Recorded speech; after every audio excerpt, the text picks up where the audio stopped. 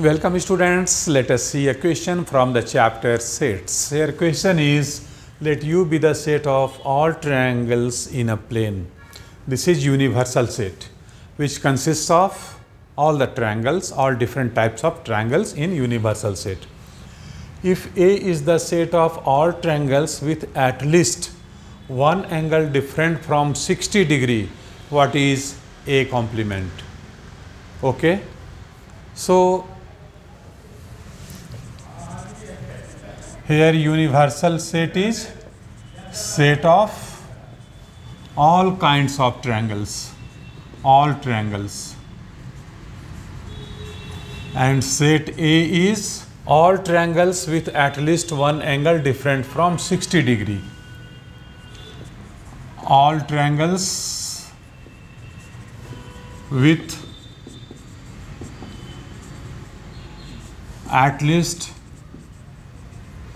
one angle different from 60 degree. What does it mean? If one angle is different from 60 degree it means that is triangles are not equilateral triangles isn't it?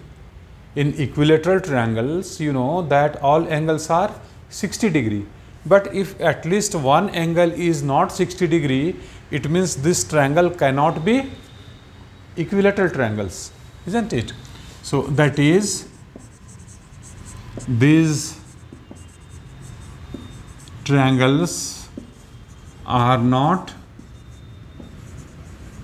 equilateral triangles. And this is set A which consists all triangles other than equilateral triangle. So, you know how to get a complement. A complement is you know that is universal set minus set A. So, here given that universal set consists of all kinds of triangles and A is a triangle A is a set which consists of only those triangles which are not equilateral triangles. So, if set A has been removed from universal set then we will get a set which will have all triangles which are equilateral triangles. So, this is set of all equilateral triangles or you can write that this is set of equivalent because all equilateral triangles are also equivalent triangles. So, set of equivalent triangles. This is the answer, this is the result. So, very simple, just you have to understand the concept. If you understand the concept in a mathematics, we can solve it very easily. So, hope you have understood it properly and we will see some more questions in other videos.